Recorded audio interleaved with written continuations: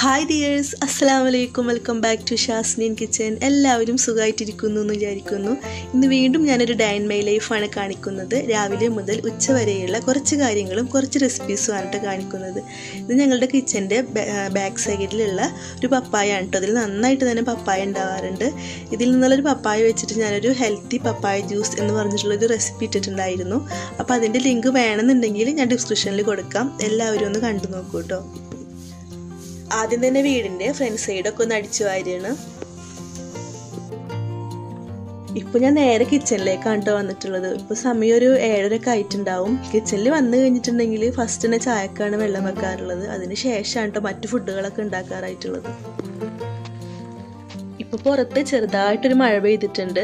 നല്ല തണുത്ത കാറ്റൊക്കെ വരുന്നുണ്ട് കേട്ടോ ഇപ്പോൾ ഇവിടെ നിന്നിട്ട് ചൂടുള്ള ചായ കുടിക്കാനായിട്ട് നല്ലൊരു ഫീലാണ് അതുപോലെ ഇന്ന് ബ്രേക്ക്ഫാസ്റ്റിന് മസാല ദോശയാണ് ഉണ്ടാക്കുന്നത്.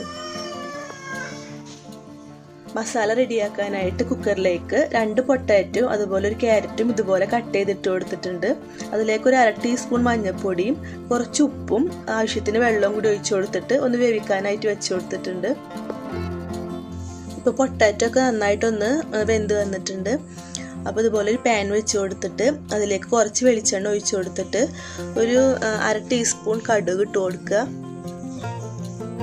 ആ ഒന്ന് പൊട്ടി വരുന്ന ടൈമിൽ അതിലേക്ക് നമ്മൾ സാമ്പാറിലൊക്കെ ഇട്ട് കൊടുക്കുന്ന പരിപ്പാണ് ഒരു കാൽ ടീസ്പൂൺ ഇട്ട് കൊടുത്തിട്ടുണ്ട്. അതുപോലെ ഒരു കാൽ ടീസ്പൂൺ ഉഴുന്ന് പരിപ്പും കൂടി ഇട്ട് കൊടുത്തിട്ട് ഒന്ന് നന്നായിട്ട് തന്നെ ഒന്ന് പൊട്ടിച്ചെടുത്തിട്ട് അതിലേക്ക് ഒരു രണ്ട് വറ്റൽമുളകും കൂടി ഇട്ട് കൊടുക്കുക. അതുപോലെ രണ്ട് ചെറിയ സവാള ഞാൻ ഇതുപോലെ ചെറുതാക്കിയിട്ട് അരിഞ്ഞു വെച്ചിട്ടുള്ളതാണ്. അതും കൂടി ഇട്ട് കൊടുക്കുക. അതുപോലെ കുറച്ച് വെളുത്തുള്ളിയും ഒരു ഒരു നാലല്ലി വെളുത്തുള്ളി നീളത്തിൽ കീറിയതും കൂടി ഇട്ട് കൊടുത്തിട്ട് നന്നായിട്ട് തന്നെ ഒന്ന് മിക്സ് ചെയ്ത് കൊടുക്കണം. സവാള ഒന്ന് നന്നായിട്ട് വഴന്നു വന്നു കഴിഞ്ഞിട്ടുണ്ടെങ്കിൽ അതിലേക്ക് ഒരു മൂന്ന് പച്ചമുളകും അതുപോലെ ഒരു ചെറിയ കഷ്ണം ഇഞ്ചി ചോപ്പ് ചെയ്തതും അതുപോലെ രണ്ട് ചെറിയ തക്കാളി കട്ട് ഇതുപോലെ കട്ട് ചെയ്ത് വെച്ചതും കൂടി ചേർത്ത് കൊടുത്തിട്ട് അത് നന്നായിട്ട് തന്നെ ഒന്ന് വഴറ്റിയെടുക്കണം.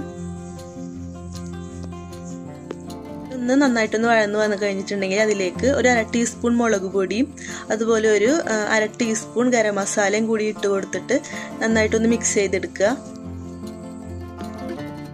ഇപ്പം നമ്മൾ വേവിച്ച് വെച്ചിട്ടുള്ള പൊട്ടാറ്റും ക്യാരറ്റും കൂടിയിട്ട് നന്നായിട്ട് തന്നെ ഒന്ന് കയ്യിൽ വെച്ചിട്ട് ഇതുപോലെ ഒന്ന് ഉടച്ചെടുത്തിട്ടുണ്ട്. നമുക്ക് ഈ മിക്സിലേക്ക് ചേർത്ത് കൊടുത്തിട്ട് നന്നായിട്ട് തന്നെ ഒന്ന് മിക്സ് ചെയ്ത് കൊടുക്കണം. ഇപ്പം നമ്മുടെ മസാല ദോശയിലേക്കുള്ള മസാല റെഡി ആയിട്ടുണ്ട്. ഇപ്പം നമുക്ക് ഇതൊന്ന് അടച്ചു വെക്കാം ഇനി ദോശയിലേക്ക് ആവശ്യമായിട്ടുള്ള ചട്നി ഒന്ന് ഉണ്ടാക്കിയെടുക്കണം. അതിനായിട്ട് ഒരു അരമുറി തേങ്ങയും അതുപോലെ കുറച്ച് ഉപ്പും ഒരു നാല് പച്ചമുളകും ഒരു മൂന്ന് മൂന്ന് ചുവന്നുള്ളിയും കൂടി ഇട്ട് കൊടുത്തിട്ട് മിക്സിയിലൊന്ന് നന്നായിട്ട് തന്നെ ഒന്ന് അരച്ചെടുക്കണം. ഇനി പാൻ വെച്ച് കൊടുത്തിട്ട് അതിലേക്ക് കുറച്ച് വെളിച്ചെണ്ണ ഒഴിച്ചു കൊടുത്തിട്ട് ഒരു അര ടീസ്പൂൺ കടുകും കുറച്ച് വേപ്പിലയും ഒരു വറ്റൽമുളക് ഇതുപോലെ പൊട്ടിച്ചതും കൂടി ഇട്ട് കൊടുത്തിട്ട് കടുകൊന്ന് നന്നായിട്ടൊന്ന് പൊട്ടി വന്നു കഴിഞ്ഞിട്ടുണ്ടെങ്കിൽ അതിലേക്ക് നമ്മൾ അരച്ച് വെച്ചിട്ടുള്ള തേങ്ങയുടെ മിക്സും കൂടി ചേർത്ത് കൊടുക്കുക. അപ്പോൾ നമ്മുടെ ചട്നി ഇവിടെ റെഡി ആയിട്ടുണ്ട്. ഇനി നമുക്ക് ദോശയിലേക്ക് ആവശ്യമായിട്ടുള്ള ഒരു സിമ്പിൾ ചമ്മന്തിയും കൂടി ഒന്ന് റെഡിയാക്കി എടുക്കണം. ചമ്മന്തി ഉണ്ടാക്കുന്ന ഫുൾ വീഡിയോ കിട്ടിയത് കട്ടായി പോയിട്ട്. അതൊരു ഹാഫ് സവാളയും അതുപോലെ ഒരു തക്കാളി ഒരു അര ടീസ്പൂൺ മുളക് പൊടി ഉപ്പും കൂടിയിട്ടൊന്ന് മിക്സിയിൽ നന്നായിട്ടൊന്ന് അടിച്ചെടുത്തിട്ട് ഒരു കുറച്ച് വെളിച്ചെണ്ണ ഒഴിച്ചിട്ടൊന്ന് മിക്സ് ചെയ്തെടുക്കുന്ന ഒരു സിമ്പിൾ ചമ്മന്തിയാണ് കേട്ടോ ദോശയുടെ മാവ് ഞാൻ ഇന്നലെ രാത്രി അരച്ച് വെച്ചിട്ടുണ്ടായിരുന്നതാണ്. ഞാനിവിടെ രണ്ട് കപ്പ് പച്ചരിക്ക് ഒരു കപ്പ് ഉഴുന്നും അതുപോലെ ഒരു അര ടീസ്പൂൺ ഉലുവയും കൂടിയിട്ട് ഒരു ഏഴ് മണിക്കൂർ സോക്ക് ചെയ്യാനായിട്ട് വെച്ചിട്ടുണ്ടായിരുന്നു. രാത്രിയാണിത് അടിച്ചെടുത്തത്. അതിലേക്ക് ഒരു ഗ്ലാ ഒരു കപ്പ് ചോറും കൂടി ആഡ് ചെയ്തിട്ടാണ് അടിച്ച് വെച്ചിട്ടുണ്ടായിരുന്നത്. ഉപ്പൊന്നും ഇട്ട് കൊടുത്തിട്ടുണ്ടായിരുന്നില്ല. ഉപ്പൊക്കെ കാലത്താണ് ഇപ്പോൾ ഇട്ട് കൊടുത്തിട്ടുള്ളത്. ഇനി നമുക്ക് ദോശ ഒന്ന് ഉണ്ടാക്കിയെടുക്കാം.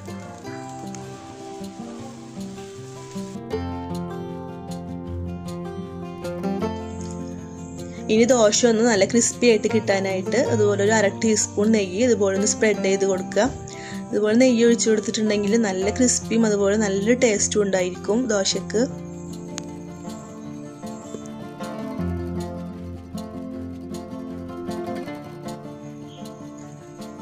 ഇപ്പം നമ്മുടെ ദോശ ഇവിടെ റെഡി ആയിട്ടുണ്ട്. ഇതിലേക്ക് നമ്മൾ തയ്യാറാക്കി വെച്ചിട്ടുള്ള മസാല ആഡ് ചെയ്ത് കൊടുക്കാം. ഇപ്പം നമ്മുടെ ക്രിസ്പി ആയിട്ടുള്ള അടിപൊളി മസാല ദോശ ഇവിടെ റെഡി ആയിട്ടുണ്ട്.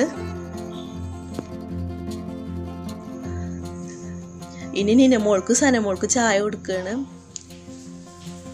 നിനമോൾ ചായ കുടിക്കാനായിട്ട് വന്നിരിക്കണതല്ല കേട്ടോ വീഡിയോ എടുക്കണമെന്ന് കണ്ടപ്പോൾ വീഡിയോക്ക് പോസ് ചെയ്തിട്ടാണ് ആൾ വന്നിരിക്കുന്നത് തലമ്മൽ ഒരു ടിം ടിമൊക്കെ എടുത്ത് കുത്തിയിട്ട് ഭയങ്കര സനനോട് ചോദിക്കണ ചിരിക്കണില്ലല്ലോ എന്നൊക്കെ പറഞ്ഞിട്ട് ആൾ ഇങ്ങനെ ഇരിക്കണം. ഫുഡ് കഴിക്കുമ്പോൾ അങ്ങനെ എന്നും പതിവ് പോലെ തന്നെ അങ്ങനെ തിരിച്ചുകൊണ്ടിരിക്കുന്നുണ്ട് ഇപ്പം നിങ്ങൾ ഇത് കാണുള്ളൂ ഇത് വീഡിയോ എടുത്തു കഴിഞ്ഞതിന് ശേഷം കുറേ നേരം ഇരുന്നിട്ടാണ് കേട്ടോ എന്തൊരു പകുതിയെങ്കിലും ദോശയാണൊന്ന് കഴിപ്പിച്ചെടുത്തത്.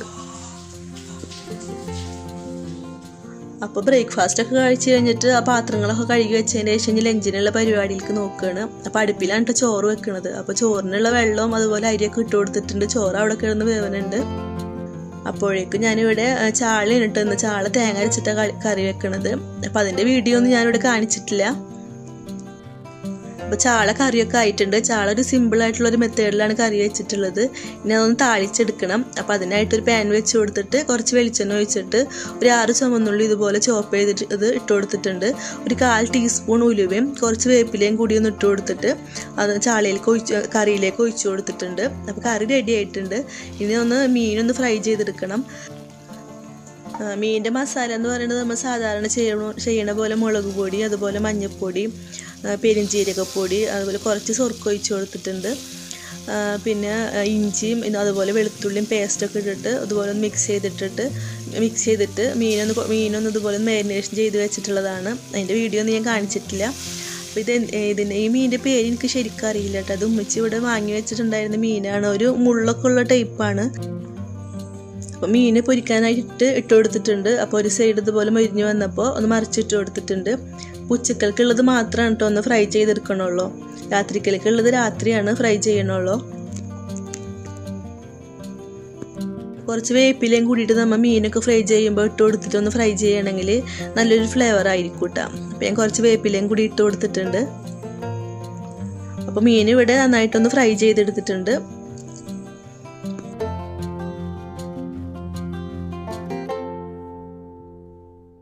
അപ്പോൾ ഇന്നത്തെ ലഞ്ച് റെഡി ആയിട്ടുണ്ട്. തേങ്ങ അരച്ച ചാളക്കറി അതുപോലെ മീൻ ഫ്രൈ ചെയ്തതും അതുപോലെ വെണ്ടക്കുപ്പേരി ഉണ്ടാക്കിയിട്ടുണ്ടായിരുന്നു. അത് ഞാൻ കാണിച്ചിട്ടുണ്ടായിരുന്നില്ല. ഇന്നലത്തെ സാമ്പാറും അതുപോലെ ഉണക്കമുളകും ചുവന്നുള്ളിയും കൂടിയിട്ട് ചുട്ടരച്ചിട്ടുള്ള ചമ്മന്തിയും ഉണ്ട്. പപ്പടം പൊരിച്ചെടുത്തിട്ടുണ്ട്. അപ്പോൾ ഇന്നത്തെ ലഞ്ചും തയ്യാറായിട്ടുണ്ട്.